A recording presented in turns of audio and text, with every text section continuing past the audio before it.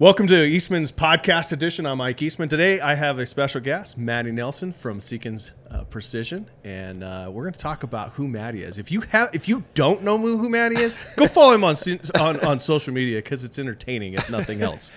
Um, you're full of energy, Matty, and I love that part. And one of the best. He taught me how to shoot an AR and one of the best I've ever seen. It's unreal, unbelievable. We did it at Glenn Eberly's out there event. Yeah, It was super super fun. Did you, did you go this year? I did, yeah. So they invited me back out. I love going out there and, and being able to instruct. That's one of my favorite things to, to be able to do is just help guys get a little bit better. They've been shooting a long time a lot of times, and there's some a, a couple of different things and a couple of different tricks to help people go to the, you know, take their shooting to the Yeah. next level and be that much that much faster and that much quicker and have that much more fun. Yeah, So- that was that was a blast. I've, I I had really. I mean, I've shot ARs, but never actually understood the the process and what you guys did. So it was, that was fun. I appreciate it. Oh, it's awesome. That was cool. So, Matty Nelson, where did where did you grow up? Where where'd you where what what bring Nat, Matty Nelson into the world? so I grew up actually right here. So we're at the Western Hunt Expo. I grew up here in, in uh, just south of Salt Lake City in Did you Orem, really? Utah. I did, yeah. Oh. So uh, I grew up there. I played a bunch of sports. My parents were super into.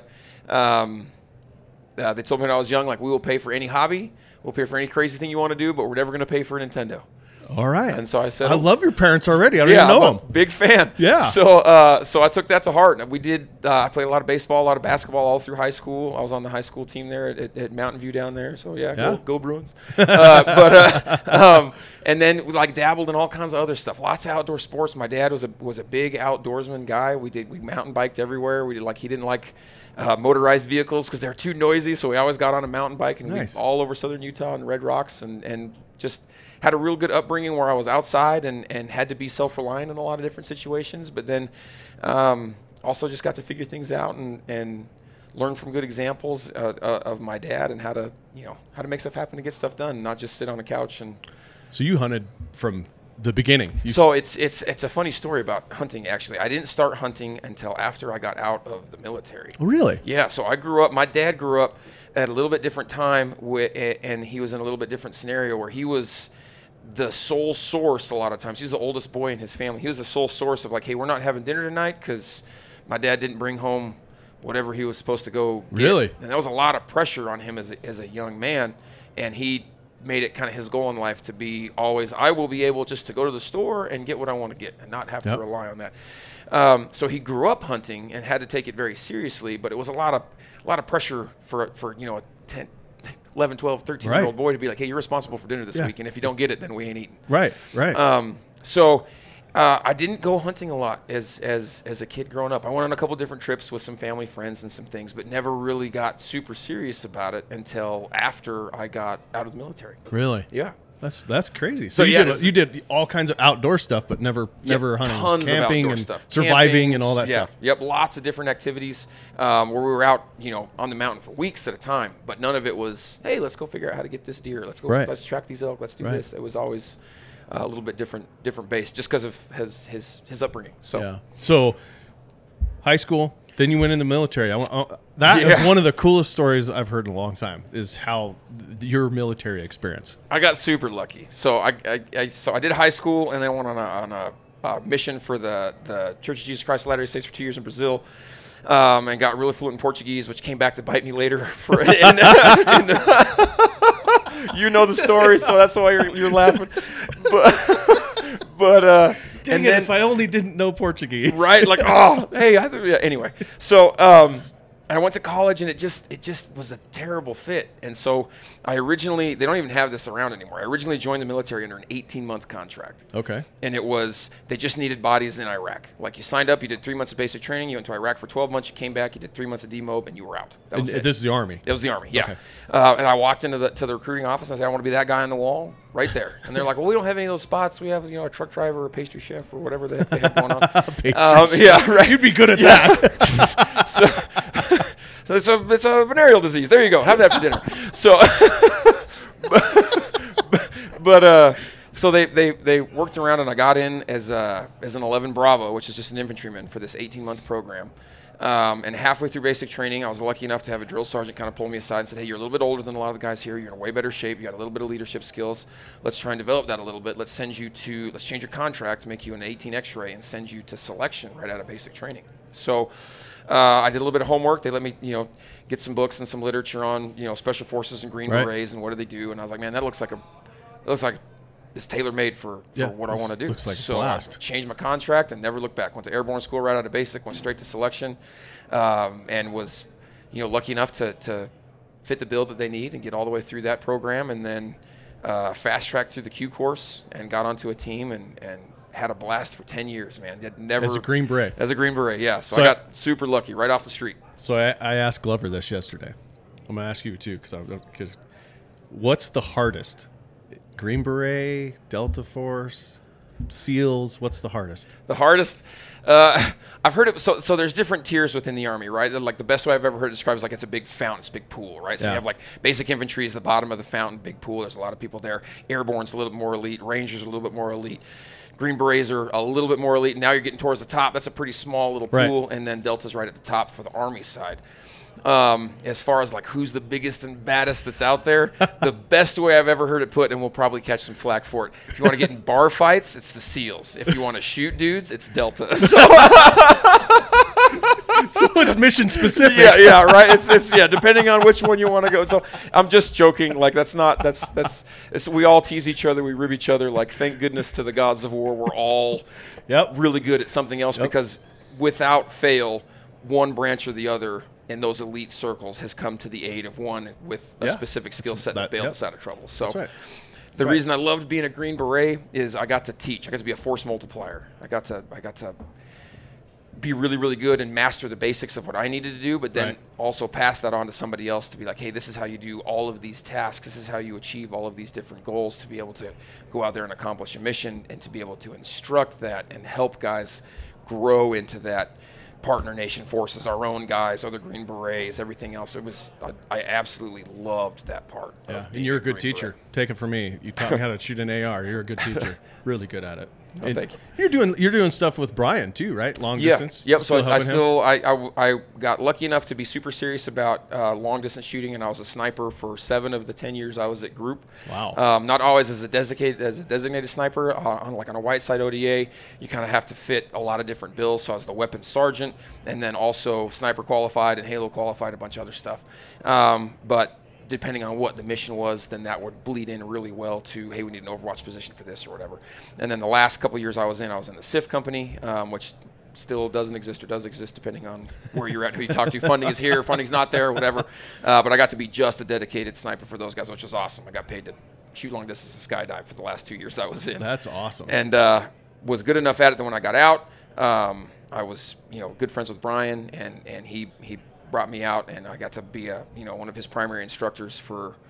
I've known him for you know 10, 15 years now, Yeah. and had a blast. And it's super fun to give back to that soft community. Guys coming in that are you know, maybe been snipers for a long time in their career, and there's new tricks and there's new things that are coming out that we get to pass on to those guys. Yeah, all the different, you know, laser range finders and all the new equipment and all the new gear and goo that's coming out is, is, you know, cutting edge stuff that maybe their their team isn't clued in on just yet. So we get to help them with that, as well as new guys that are coming in that are still, you know, like which way does the scope go on here? Okay. so it's it's a good broad spectrum. Bullet goes the other way. Yeah, right. Oh, it goes this way. Got it. Oh, yeah, sweet. Okay. So, yeah. So it's super fun to be able to instruct and, and, and teach and give back to that special operations community that I that I came from. I love that. Yeah, So that's cool. So you, got so you we walked through your military, but you gotta tell the story. You gotta tell the Brazilian the story. Brazilian jungle schools. So I uh, so I spoke Portuguese fluently, and Yeah. I was on my first deployment, and uh, the sergeant major came out to visit our little fob we were at, and uh, I didn't know it at the time, but he'd come out just to just to find me. So there was one of our two-star generals and uh, one of their two or three-star generals, whatever. They were going to send some guys to Ranger School, and they wanted to send a guy to Brazilian Jungle School. So they they did some asking around at seventh group, like, hey, who speaks Portuguese? And they're like, well, there's this big, huge, you know, six foot four ginger kid that speaks okay Spanish, but he's really good at Portuguese. So he came out to our fire base. And he was like, "Hey, you're Nelson, right?" And I was like, "Oh boy, Like, Uh-oh, that's never Major." good. Yeah, right. That's what I do now. Um, I didn't think the predator was up there for that. Oh. But uh, no, I was just, I was just kidding. But but uh, um, so you speak Portuguese, and I was like, I, that depends on why you're asking, Why? Sergeant Major.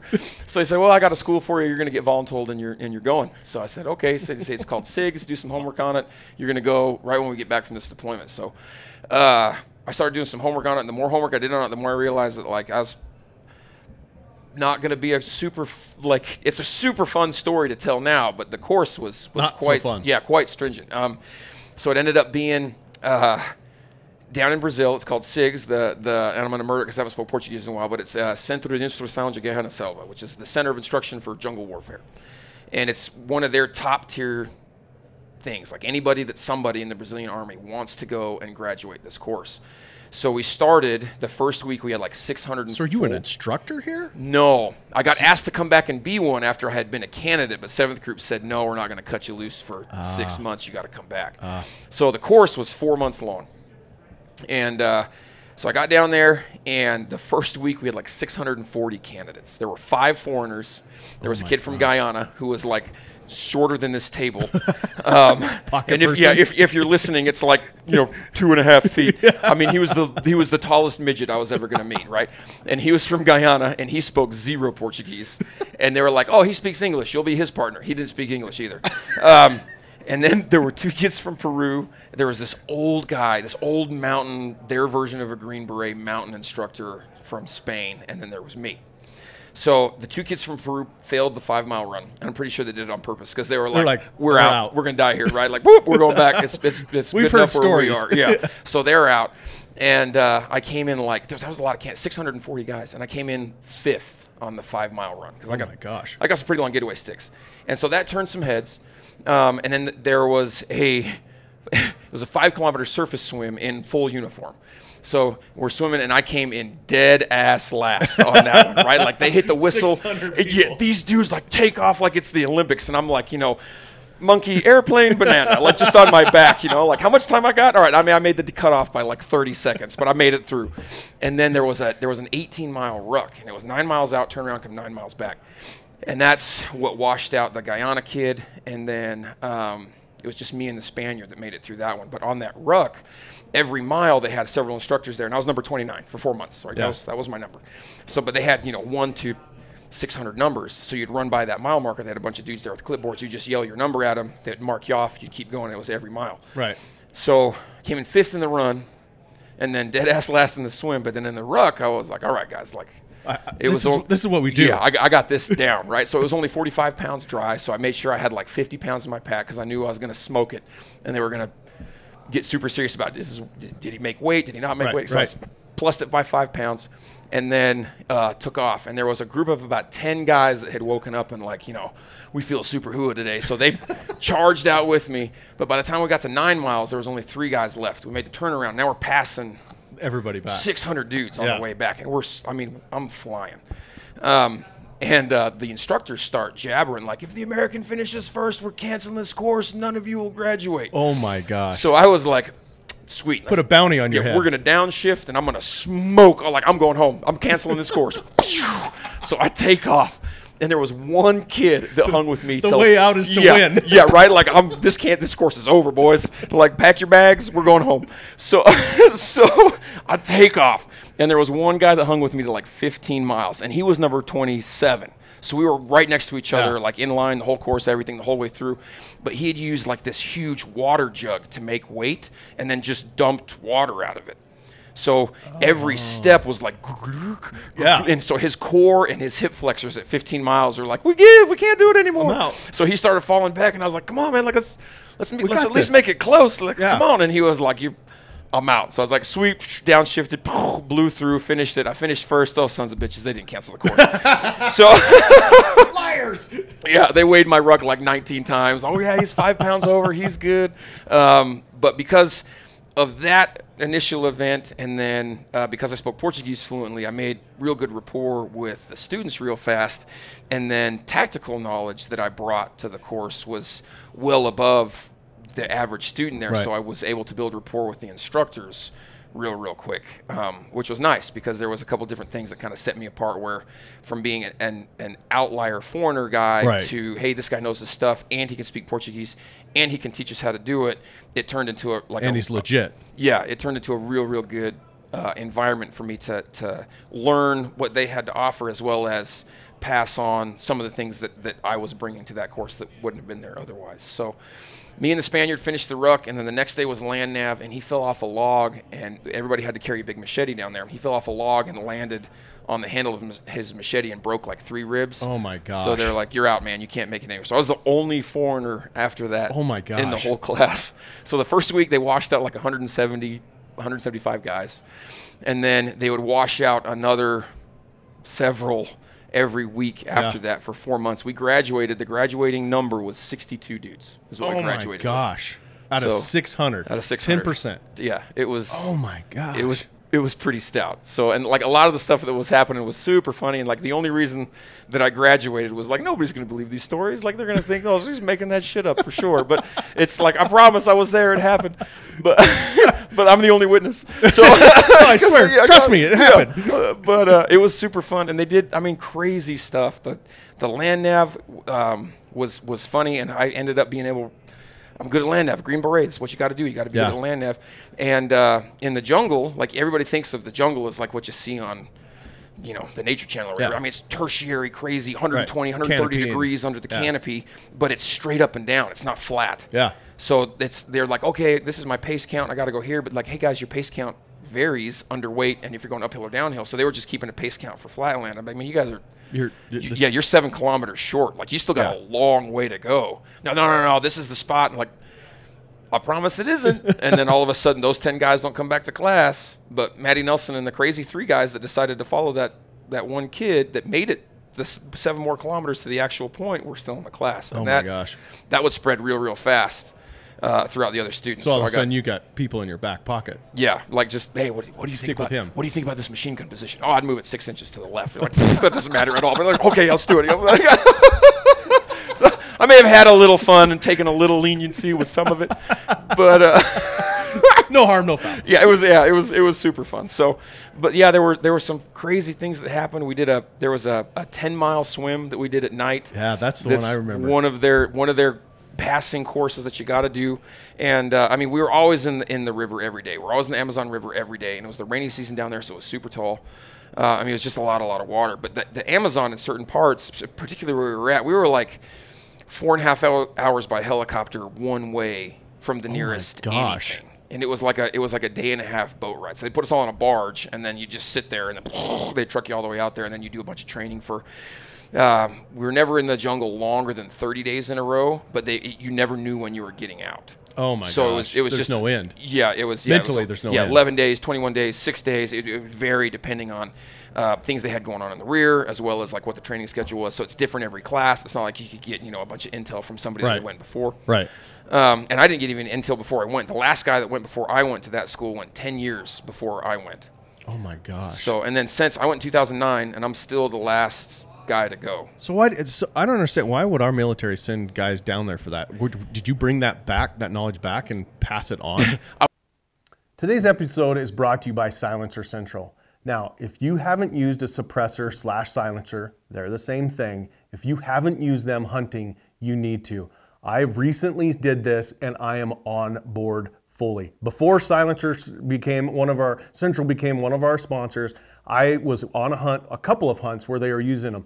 Here's the advantage: follow-up shots. Not only do you get that one surprise shot, you also get a second one because that animal isn't scared of the noise. They may have felt the impact, but they didn't hear the noise.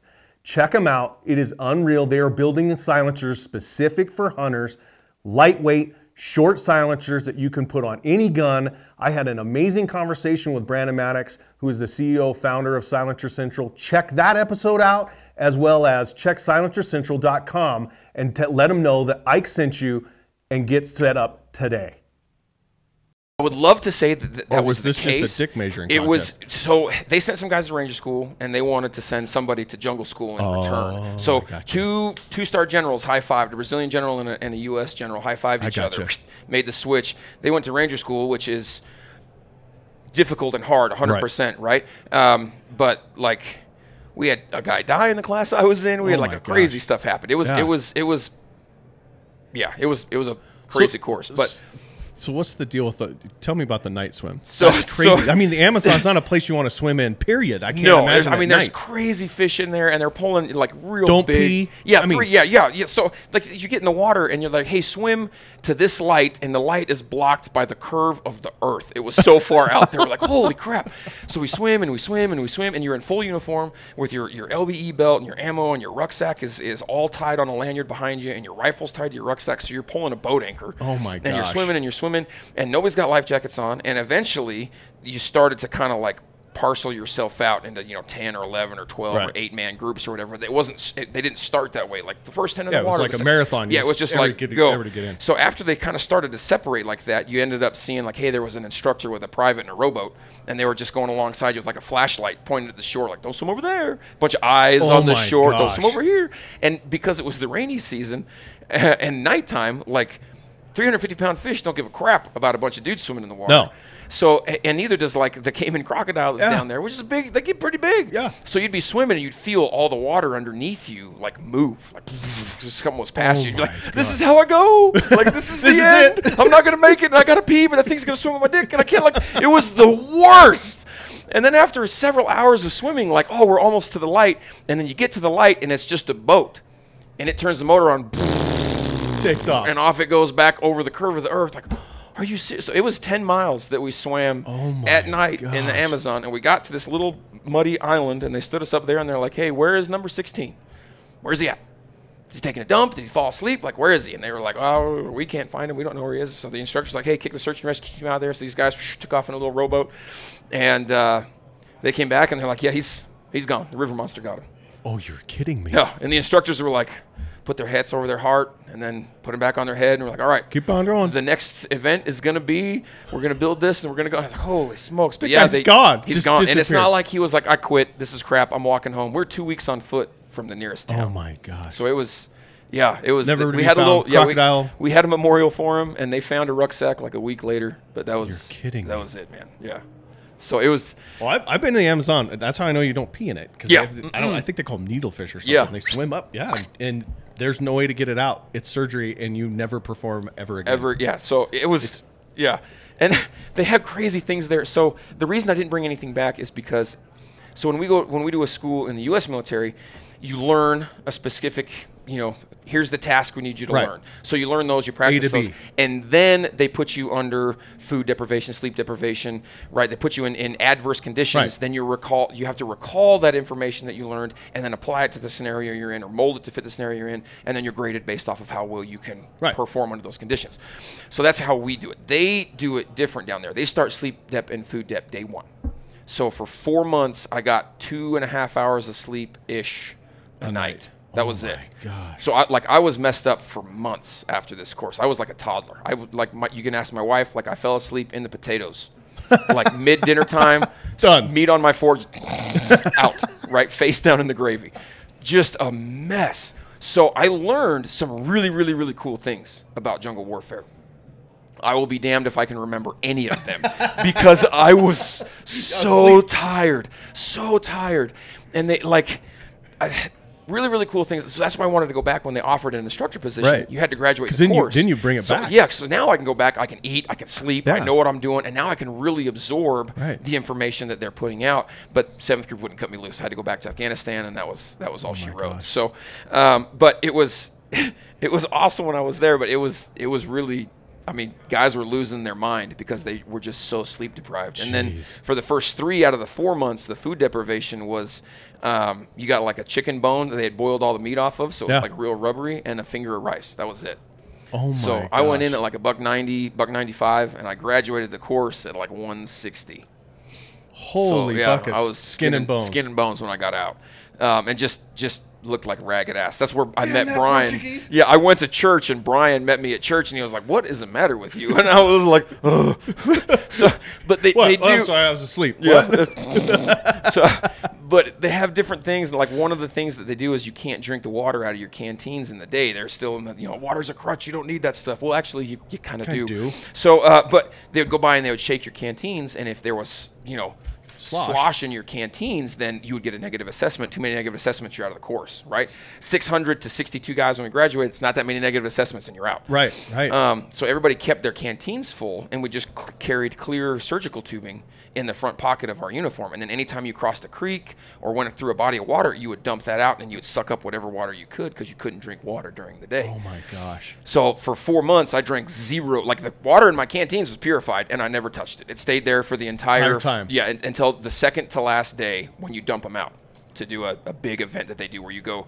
It's like two days without sleep, one day without any water at all, and or it's no, it's uh, one day without any food at all, and 18 hours without any water at all. And in that period, you do like a 30 kilometer foot movement, and then do Oh. a bunch of tests at the end, which is like it's very arduous and strenuous, and people are falling out left and right. Yeah. I mean, we had pretty close to 200 guys before we started that last little bit, and they all dropped. I mean, they ended to 60. yeah, it, yeah, dropped down real low. So, Jeez. um, but yeah, so like. I, people like if if you've met me the past, like I always have Monster and something kicking around. Like, oh, how come you drink so much Monster? It's Because keep all those parasites at bay, man. I got all kinds got of crap stuff- running around in there. I know. in there. I haven't met in a long time. Yeah, I don't. If, if I stop drinking that stuff, my butt's gonna turn inside out and start talking to me in two days. So I gotta I gotta keep that stuff at bay. Oh So- but So, so you're married? yeah, Kids? Do you got Yep. kids? I do I have three little girls. Oh, you're you're So- learning patience like me. Oh man, it's it's bad news, but they are they are a hoot. They're so much fun. How old are they? So they are 10, 8, and 4. Oh, that's awesome. I got a Yeah. 10 and 12 year old girls. Oh, I'm, I'm, I, and I didn't grow up with girls. I, all the cousins, almost all my cousins are males. And Yeah. So I didn't know how to do this, but Yeah. they're fun. I got Oh. two brothers. That's it. Yeah. So and my wife only has she's the oldest in her family, then she has three little brothers. So we don't know Didn't know anything. anything. So Yeah. we're yeah, we're still in the deep end of the pool, just like drink water, baby. We're gonna make it. So it's Don't pee. yeah, yeah, right. It's gonna get you. So, so it's uh, yeah, it was it's it's been super fun. I met my wife right after I graduated the Q. So we'd been friends for a long time. We grew up on the same street down here in. Oh, no kidding. Yeah. So like we'd gone to church together. We'd done everything.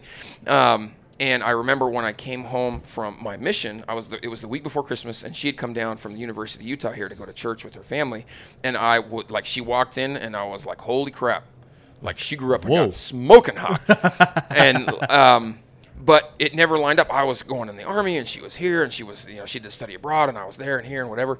Um, but I, I took her on one date. I came home for another Christmas. It was right after I graduated the Q course. I was a Green Beret, like you know, top of my game. Oh, I'm, yeah. I'm it. I'm the man. Yeah. You want to go out? Yeah. Came home and, and, and she had a serious boyfriend that was going to propose to her like over Christmas at his family's house. And I was like, don't go do that stuff. Like, you should marry me. And she was. You're kidding me. I'm dead serious. She was silly enough to be like, okay, Oh my I'll roll those dice. And, and it's been 15 amazing She's- years. We've been married for 15 years. She's an angel. She's amazing. Like she, people ask me all the time, like, "Oh, how did you do this or how did you do that?" Like, unquestionably, she is far tougher than I am. I was gone for like 300 to 320 days out of every year while I was in. She never made me pick. She never threw a fit. It was never like, "I don't understand why you have to do this or you have to do that." I ran it out in my 10 years as Green Beret, and because of that, I was able to do more in 10 years than most guys will get to do in 20. Yeah. And at 10, it was like, hey, it's it's it's time to get out. My she, I was home doing the dishes, and my wife told my oldest daughter at the time she was uh, six maybe.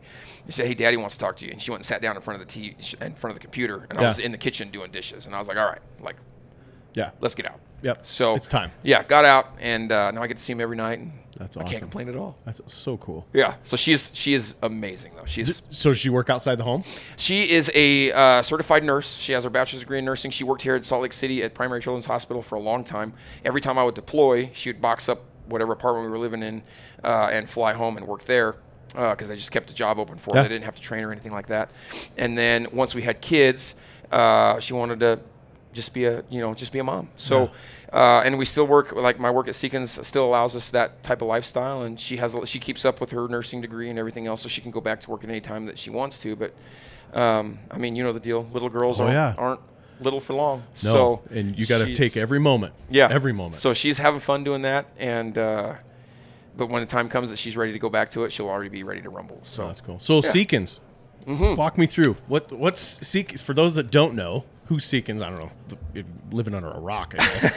Seekins Precision. Seekins Precision is is, uh, is an awesome company to work for. So Glenn Seekins started it back in 2004, making scope rings on a CNC machine that he rented time on after his full time day job because he broke a set of steel rings on a hunt and thought to himself, "There's got to be, a better. That's how. Yeah, it's got to be a more lightweight, better way to do this. And so he started with scope rings, and he put them up on like sniper's hide. Yeah. Um, and once upon a time, like 20 sets of rings was a huge order, right? but it's gone from that to they they started getting into small parts and accessories for ARs, and then they went all the way into full blown ARs, and were real big in like the three gun world for a Yeah, long time. yeah. And then they were sitting around in 2017 and Glenn and the Mr. Lucas Mattoon and Mr. Eli. Mr. Lucas Mattoon runs the quality control department at Seekins, and Eli uh, Nightingale's the lead programmer there. Okay. And they were complaining of like, man, we got all these, got all these awesome gas guns. I don't have a, I don't have a hunting rifle this year that I want to take out Yeah. and hunt with. It's got this problem or that problem or this con or that con, and they were like, well, we got a Brazilian dollar machine shop out there. Why don't we just Build make us one. So they made the original Pro Hunter One, the PH One, and it turned into the flagship of the company overnight. Really. It was yeah, it, and we still today like the the new version is the PH2, and we've made some updates and some changes and a couple different things um, to to continue to better the product, but we still just cannot make them fast enough. really. Yeah, so it's it's super cool to see it come on, and then I got hired on uh, right in 2018 after Shot Show. Yep. Which is a banana story. Glenn had a sales team that was all kind of outsourced guys. None of them lived in Idaho. None of them were there, um, and he watched them in the booth at Shot Show and realized like they don't know any of the names of my products. They don't know what their capabilities are, and, and a few other things. Um, and so he fired him. Right on the spot. Yeah, like Done. Yeah, pack your stuff. You guys hit Yeah. the road.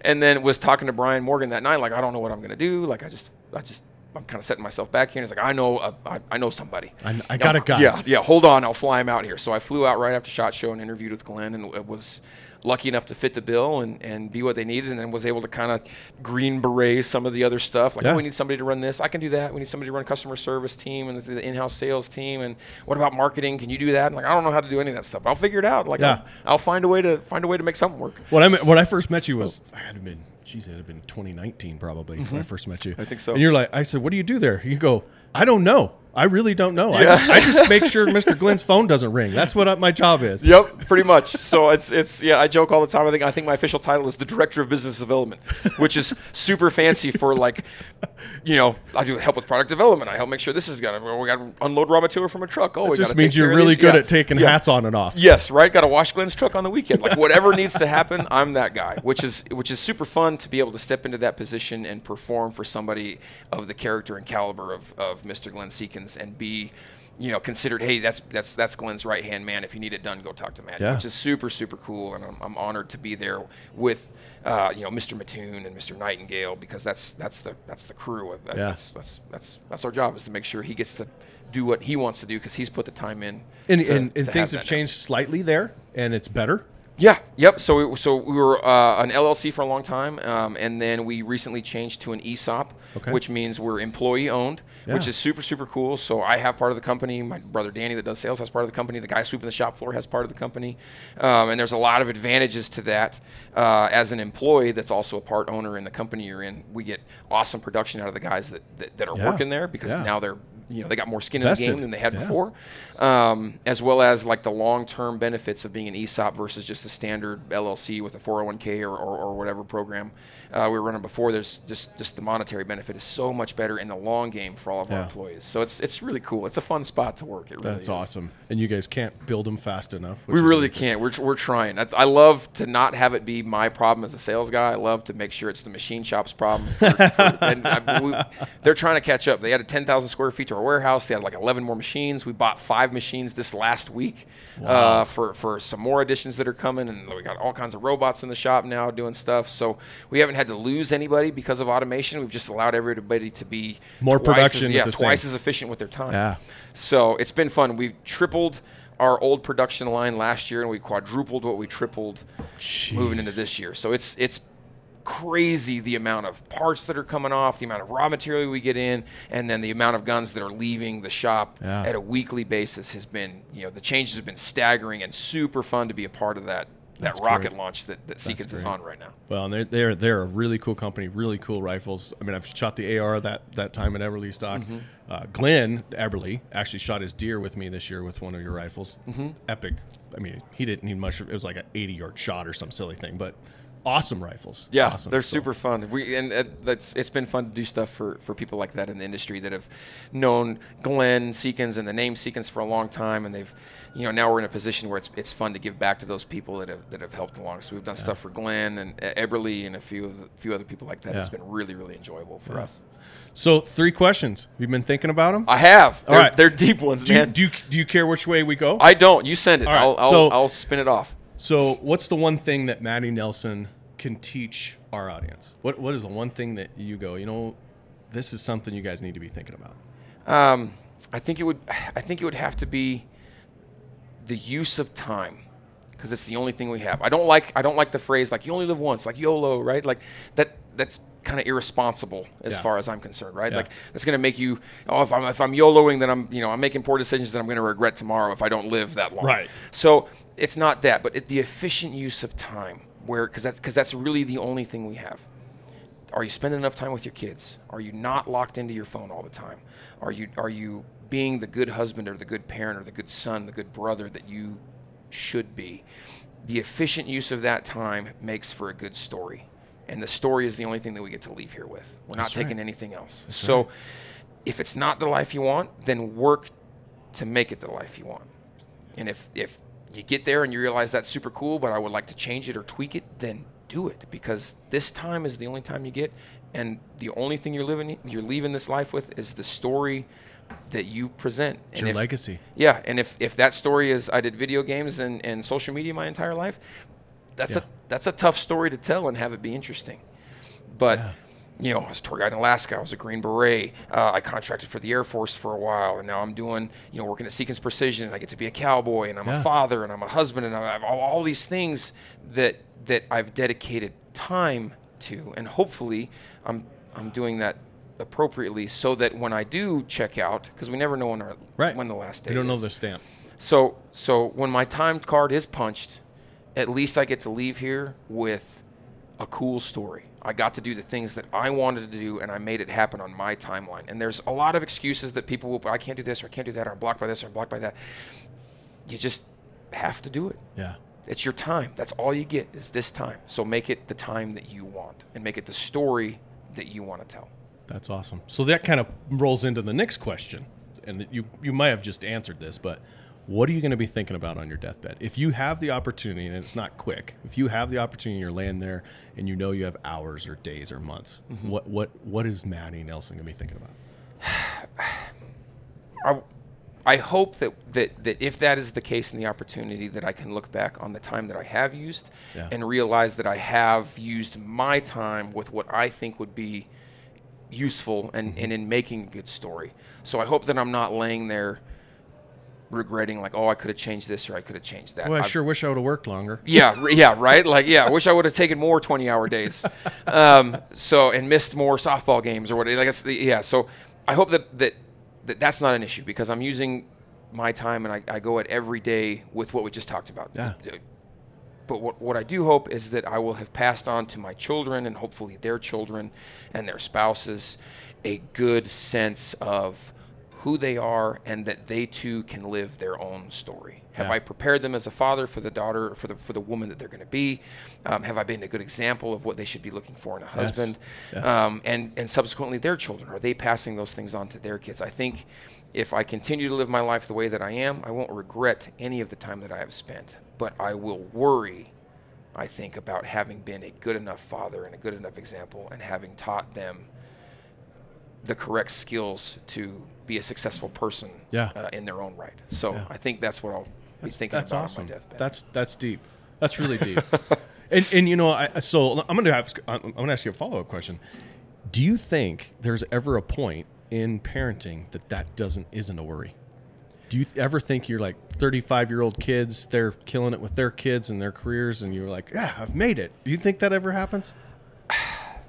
Looking at my parents, no. That's what I was gonna say. My parents Right? still worry Yeah, about me. My right, mom, like- my mom calls me all the time. You, you okay? Yeah. And I- I'm good, mom. Yeah, I'm- you've been on the road a lot. You taking Yeah, your vitamins? yeah, drinking exactly. water? Like I know you drink those energy drinks. You better be drinking water. You're going to get kidney stones. You're going to get old one day. That's right. That's Um, right.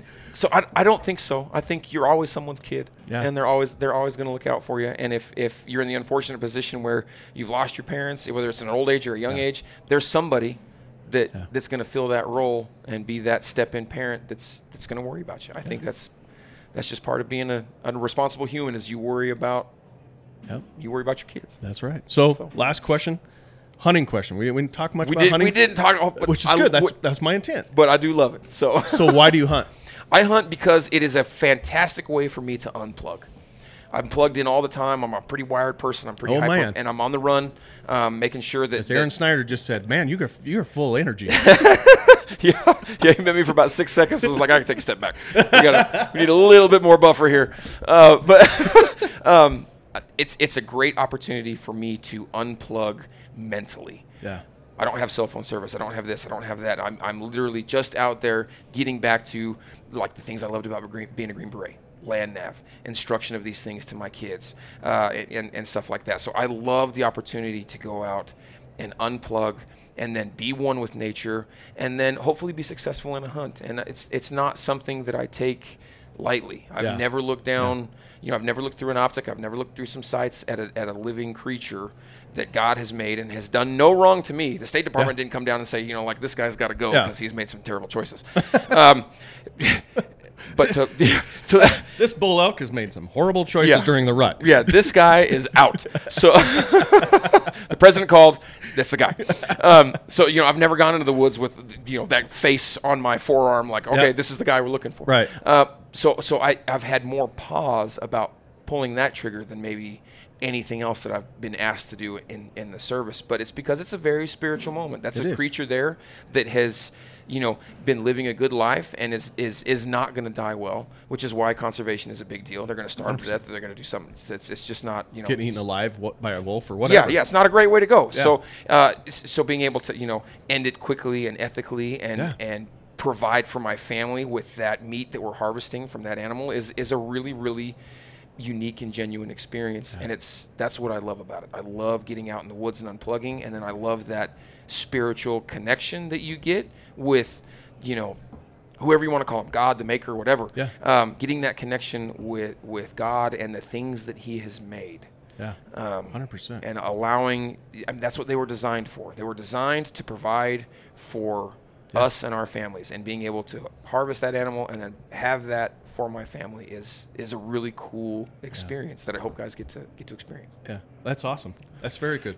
Well, I appreciate it, Matty. Thank you for coming on. Thanks for sharing your story. it's awesome one. to be here Yeah, thank you thank yeah, you, thank so you. much. Uh, you know, good luck here at the show. It's it's first day. We, we'll see what happens. Right? yeah I think it'll be a zoo so it'll, It- it'll be super fun It always is. Yeah. Saturday's crazy. right yeah here they come doo doo so Well, appreciate it. Thank you very much. thank you Hey, folks, thanks for listening today. I hope you enjoyed this episode. You got to hang out with some of the people that I think are most the most interesting I've ever met.